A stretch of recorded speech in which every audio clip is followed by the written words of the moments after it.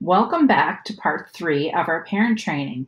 We've covered how to sign your child in and what it looks like inside the Seesaw classroom. Now let's cover how to complete activities. So if you look over on the right hand side, you'll see three different tabs, journal, activities, and inbox. If you click on activities, you'll see a to-do folder, an in progress folder, and a done folder. So in the to do folder, you'll have all the work that is needed to be completed. Um, and you can see on what dates each thing was assigned on. If you take a close look, you can see that there's a title of the assignment. There's also instructions, and in some of the assignments, there's instructions that are recorded as well. This helps our littles out that can't read yet. Um, it, it helps them to be able to understand what's going on. Click the link and watch Mystery Doug explain how hand sanitizer kills.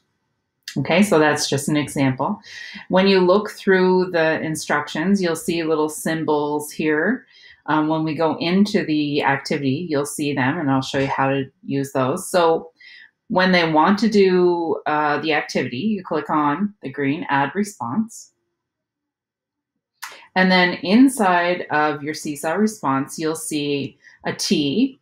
I'll show you what that has. So you, you can add text here.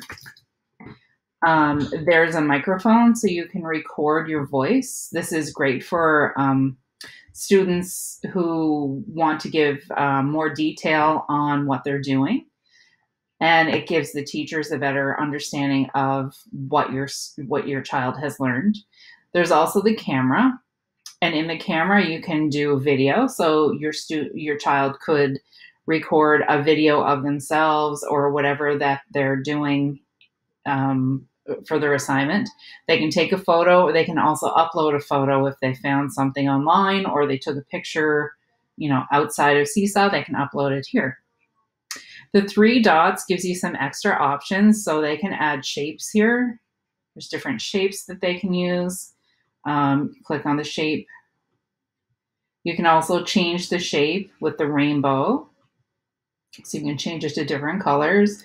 You can make it larger or smaller. You can move it around.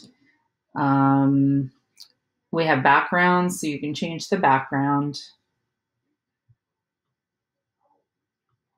Um, you can add a link. I don't think you'll probably ever have to do that as a student. And you can also record, add your voice to different parts of your assignment.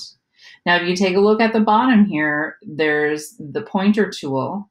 There's also a pen and a pencil, a marker or a highlighter, a magic marker, and the eraser. So if you click on one of these, you can choose your, your color over here. And this is especially great if you're on a tablet or an iPad because the child can um, use their finger as the pen and write what they need to write. Um, when they're done their assignment, so up here, if they're not finished, but they have to put the iPad away or their tablet or whatever they're using away, they can click on draft and then they can come back and work on it again later. If they've completed the assignment, they click on the green check mark. And then it's sent to their teacher, and the teacher can add a comment or a response to let them know what they thought of the assignment. Um, if you have any further questions um, or you need extra help, uh, speak to your teacher and I can create more recordings to assist you in understanding Seesaw.